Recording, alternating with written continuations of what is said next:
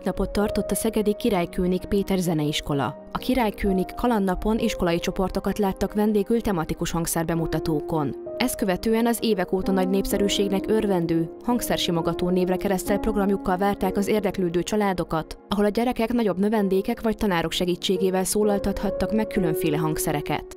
A Szegedi Királykőnik Péter Zeneiskola a legrégebbi múltú zeneiskola Szegeden.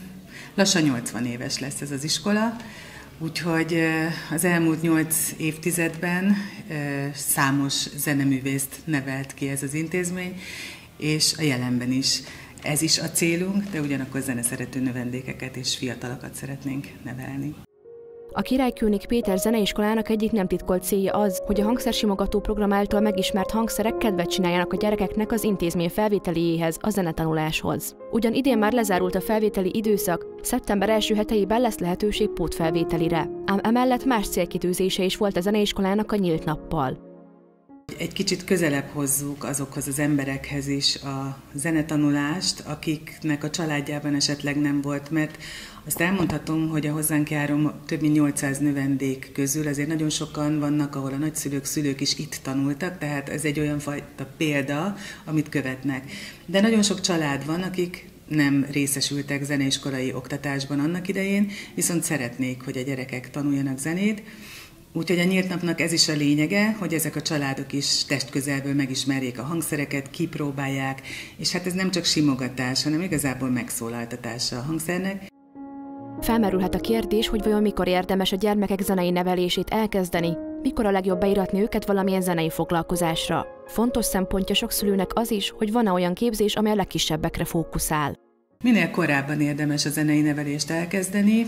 Igazából már az óvónőknek nagy szerepük van az óvodában, hiszen ha már zenélnek, táncolnak, ritmus tapsolnak, az már egyfajta út a zenetanulás felé. Mi is tartunk zene óvis előképző foglalkozásokat, és hát ott már azért kiderül, hogy melyik gyermeknek milyen készségei vannak, milyen képességei, melyik az a hangszer, ami tetszik neki, melyik az a hangszer, amire testileg már érett, és akkor elkezdi a zenetanulást már nagycsoportos korban, ilyenkor a hallásukat csiszoljuk egy kicsit, az éneklésüket, a ritmuskészségüket, és természetesen a tanév során megismerkednek mindenféle hangszerrel, amik közül aztán majd egy év zeneóvi után választhatnak, hogy mit szeretnének tanulni. Általában hat éves korban szeretjük, ha elkezdik a zenét.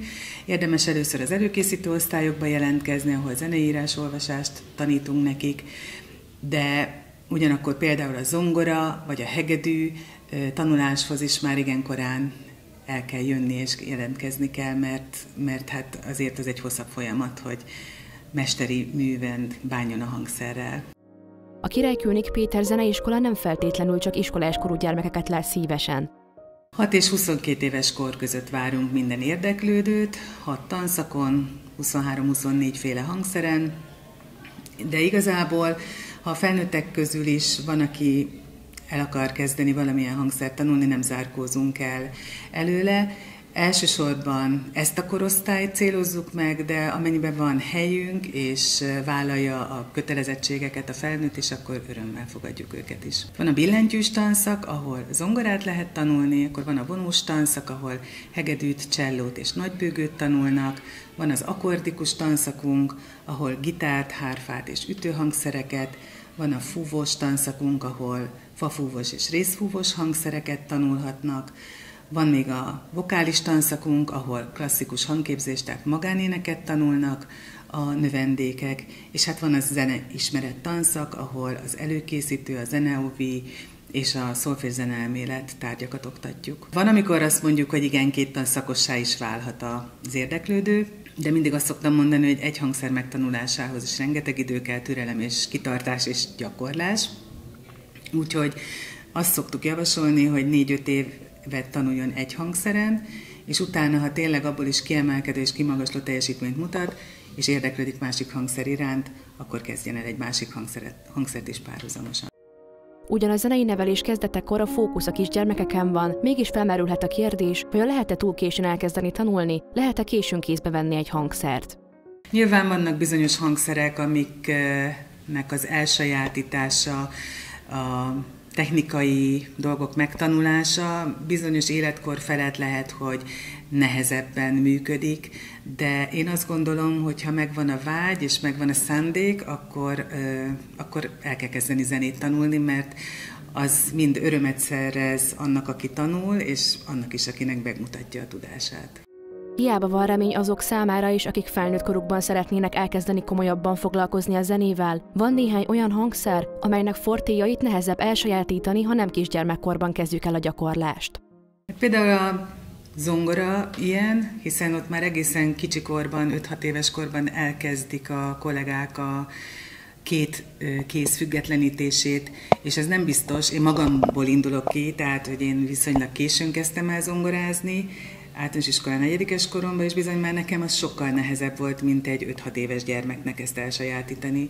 Vagy a másik ilyen hangszerünk a hegedű, ahol nagyon jó hallásának is kell lenni a tanulónak, a növendéknek, és hát végtelen türelemmel kell lennie mind a tanulónak, mind a családjának, mert azért az első két évben bizony nem minden hang olyan tökéletesen szólal meg, de én azt gondolom, hogy a türelem és a, a rendszeres gyakorlás, a szülői támogatás, az mind-mind hozzájárul ahhoz, hogy a későbbiekben aztán sikeresek legyenek. A Királykőnik Péter zeneiskola szinte kifogyhatatlan az ötletekből, ha a kisgyermekek zenei nevelésének elkezdését kell ösztönözni. A beiskolázásnál is már ez, amit említettem, a zeneóvodás csoportunk az nagyon népszerű, nagy csoportos gyermekeket várunk.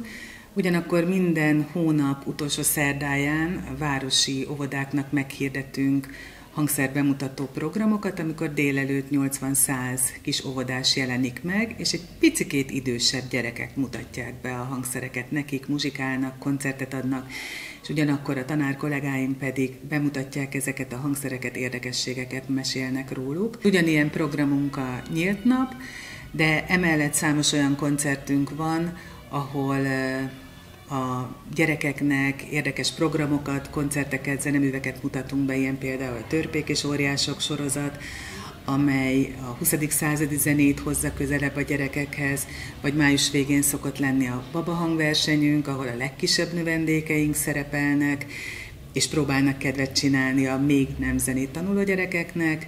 Számos hangversenyünk van, számos versenyen vesznek részt gyerekeink, és ezeknek az eredményeit folyamatosan közöljük a közösségi oldalakon, a weboldalunkon. Úgyhogy mi mindent megpróbálunk, hogy még többen jöjjenek ide a zeneiskolába.